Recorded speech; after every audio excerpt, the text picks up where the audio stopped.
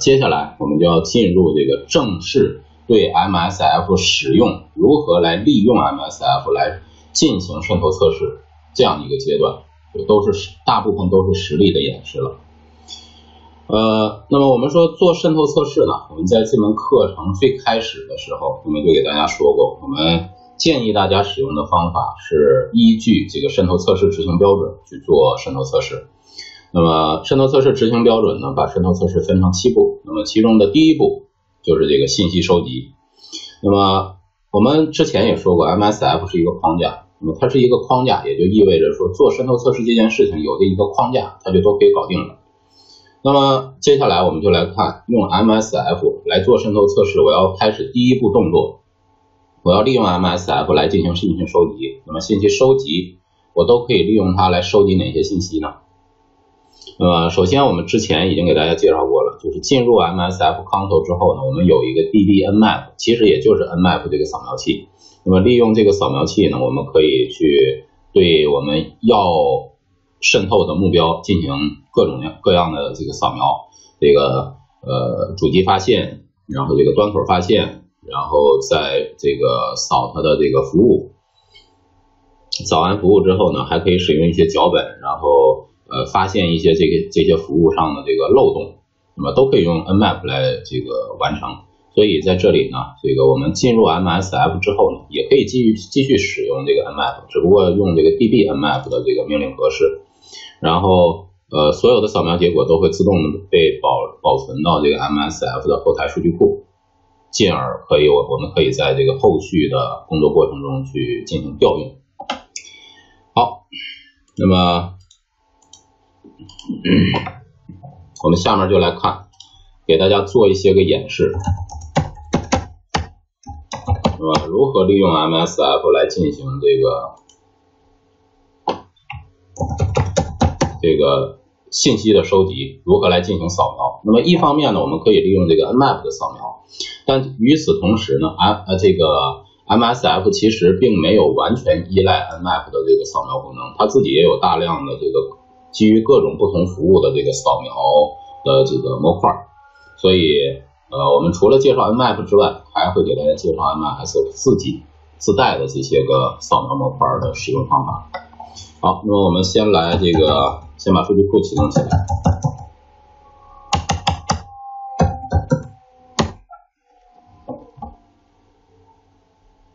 数据库启动起来之后呢，然后我们运行 MSF console，启动 MSF。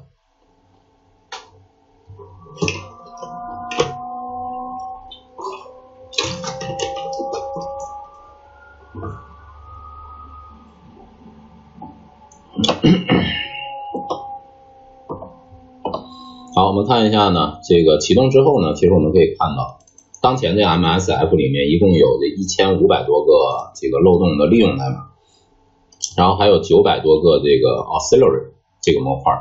那么 auxiliary 模块我们之前已经给大家简单介绍过，那么它的作用就是主要就是来做各种信息收集，做各种扫描，做这种辅助性的这种这个工作。那么它不会呃 auxiliary，那么说白了，它就是一个。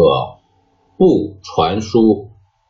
不使用这个、这个、这个 payload 的这个 exploit，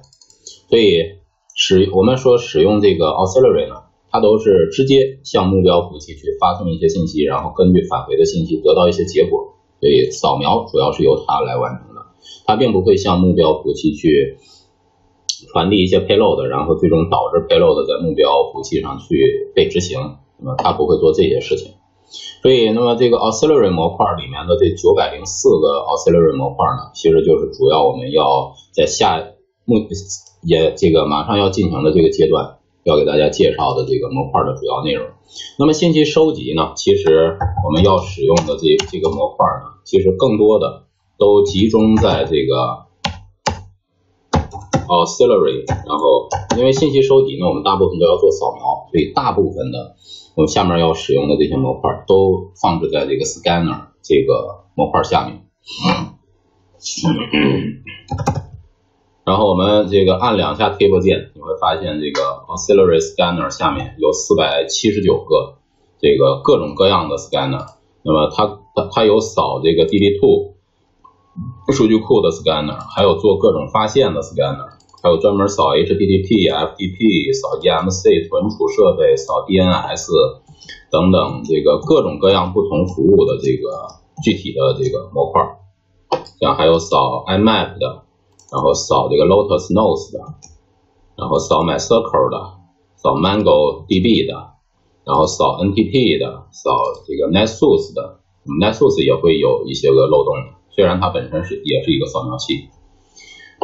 还有扫这个 POP3 的，然后还有扫 TCAnywhere，大量大量的这个，呃，还有这个专门做端口扫描的，比如说做 Scene，Scene 扫描，还是做这个这个，呃。Scene 就是半开的这个连接的扫描，然后 TCP 呢就是这个全连接的扫描，然后各种扫描方式，还有这个这个 Christmas 这个扫描方式。那么在 Nmap 呃介绍 Nmap 的那一章呢，其实我给大家已经介绍过各种扫描方式了，所以在这里我们不再过多的去强调它。然后还有 Redis 这个 SAP SAP，然后这个 SCADA。SMB、SMTP、SSH、SNMP 等等这些服务呢，它都有相应的这个扫描模块，还有专门扫描 VMware 的，然后，扫描 VNC 的，这个一共四百多个。那么这四百多个呢，其实都是我们可以用来做信息收集使用的。那么像 VMware，通过这名字我们就知道，这是专门针对 VMware 某一项可能会存在漏洞的这个服务某一项。这个具体的信息来进行信息收集的这么一个扫描器，呃，它虽虽然称之为扫描器，有的其实只是发很少量的几个包，然后获取这个 IP 上的一个具体的一个信息而已。呃，这些都都是有可能会这个因为信息泄露造成安全威胁的一些个这个这个点。好，那么我们先来看一下这个 DBNmap，DBNmap，我们先拿它来扫一下。这个让大家先熟悉一下它的使用方法。那么进来之后，我们就可以先来这个 DBNmap，然后一点二点一六八点，看看我现在的 IP 是否正确啊？一点幺幺三没问题。那么我就来扫我当前这个网段。那么我先不扫服务了，扫服务可能呃时间花的比较多，那我就做一个最基本的扫描。扫一下我当前这个网段，那么作为一个这个主机发现这么一个一一一个这个一个一个方法。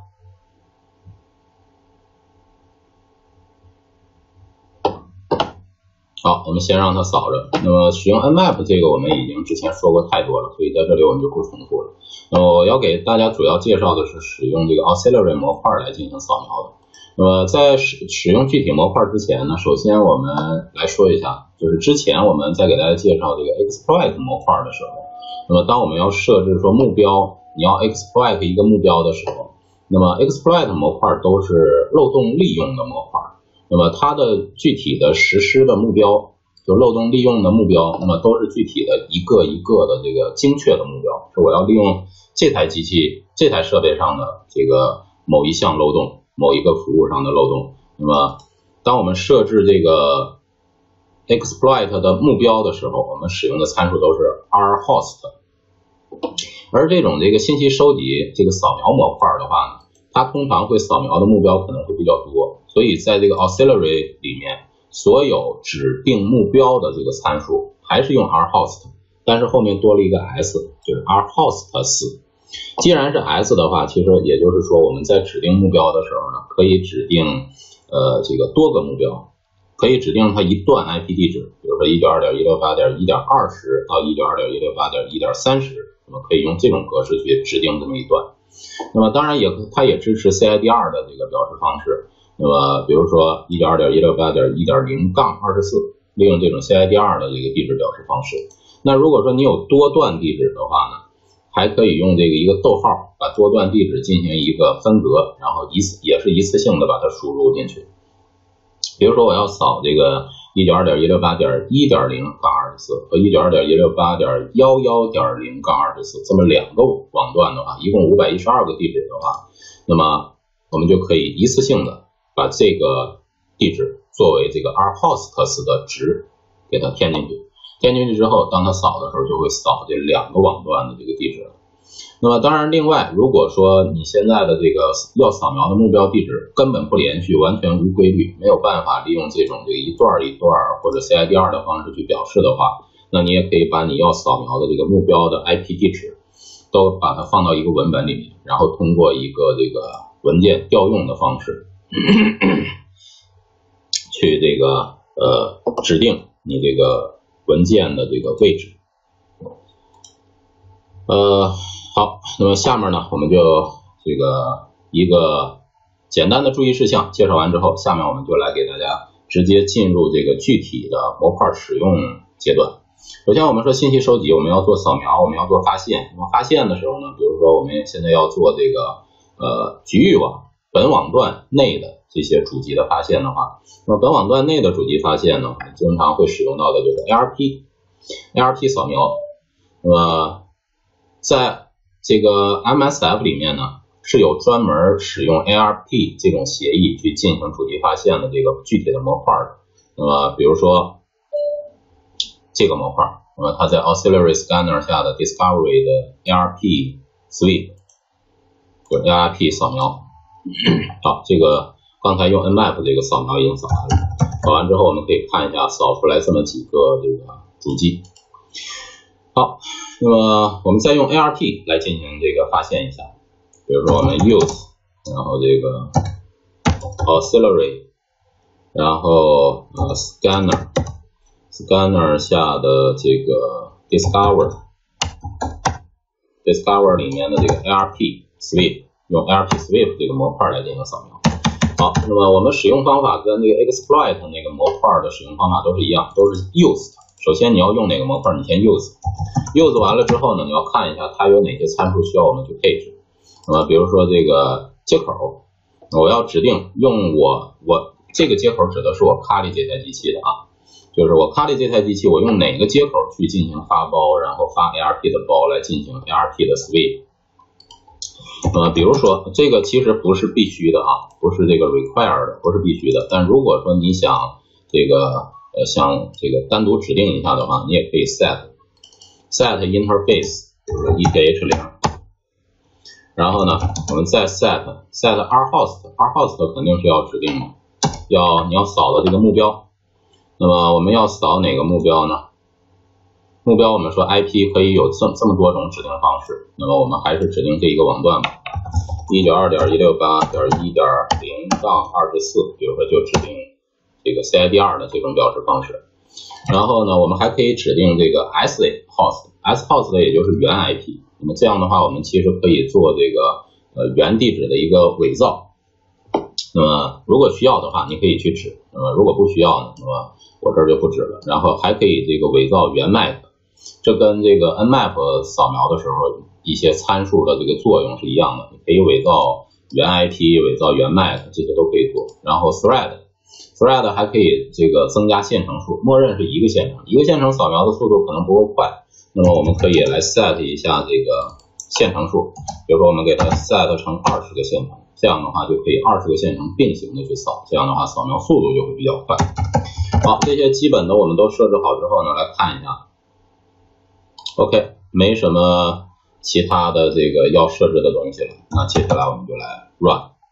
run 和这个 exploit 其实是一样的啊，这个是没有什么差别，只是以前的习惯性的习惯性的这个以前老版本，那么是说 auxiliary 模块都用 run 来运行，然后 exploit 模块都用 exploit 去运行，那么这是以前的一个惯例，但其实现在都是一样的，我们现在就 run run 的话，现在就是以二十个线程的速度去扫描本网段。去发现发现主机，那么现在已经发现了，说这个呃一点一 appear to be up，然后一点零幺零四 to be up，然后幺幺零 up，幺幺幺幺 up，幺二二 up。然后一会儿把整个这二百五十六个地址都扫完之后呢，就所有 UP 的机器就都已经发现了。那么这是 OK，二百五十六个 IP 地址扫完了，百分之百完成，发现了这么几个 UP。那么我们其实可以看一下和呃之前我们扫的通过 Nmap 扫出来的结果是这个完全一样的。啊，幺幺三幺幺三是我自己，那么它不会把自己显示出来，其他的都是一样的，没有任何差别。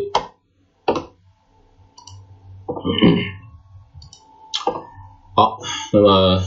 用 ART 可以做发现，那么我们还可以做别的类型的这个扫描，比如说我们做这个发现了某些主机是活着的，然后接下来呢，我想扫描它的这个呃某些端口，某一些指定端口的话。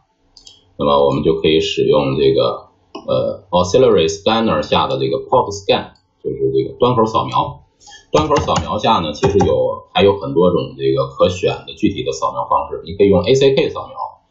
那么这个具体的扫描方法，我们在之前的章节都已经说的够详细了，所以我这里不再说。TCP 扫描还是 Christmas 扫描，这个还是 Scene 扫描。那么我们先来个 Scene Scene 扫描。然后 show option 看看有哪些参数是我们需要去配置的。那么这个 interface 如果你想配的话可以配，如果不想配呢，那也可以不配的。那么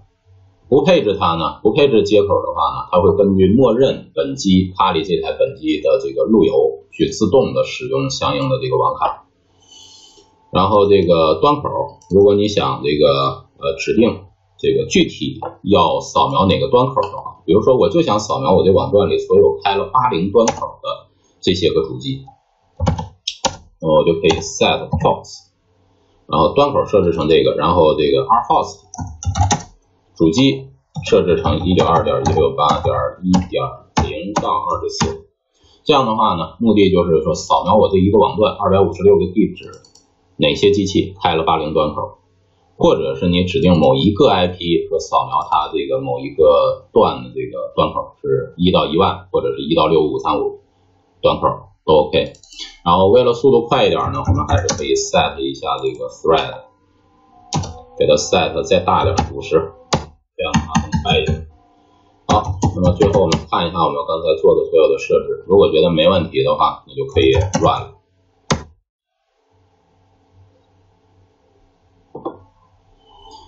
好，那么稍等一下呢，就我们就会发现，在我现在这个网段里面都有哪些个 IP 地址是开放了八零端口的。